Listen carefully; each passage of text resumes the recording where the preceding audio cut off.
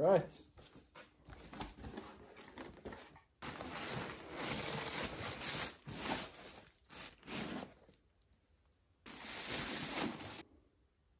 So PowMr sent me a solar inverter charger. It's a hybrid inverter, 48 volt. This is the POW HVM6 with a PV input of up to 500 volts. Ranges from 90 to 500. 22 amps. Max PV input power is 6500 watts.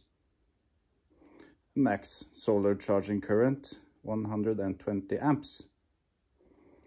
Now for the AC output, there are actually two load outputs on this unit. Full load is 6200 watts. That's your main load. And there's a second load output at 2066 watts. And of course it's your AC input for charging when there's no sun. Let's open it up.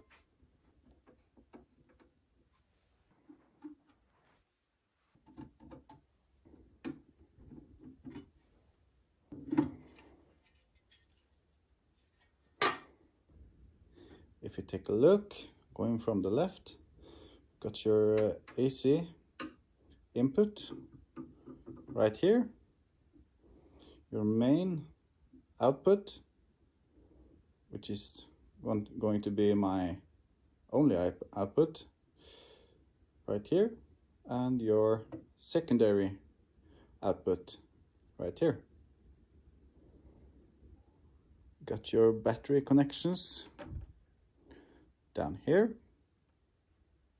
positive and negative, and your PV input right here positive, negative. You also got your communication ports for the battery and for Wi-Fi monitoring. And your ground connection is right here. Two fans at the bottom, ventilation on the side, and your on-off switch on your right side.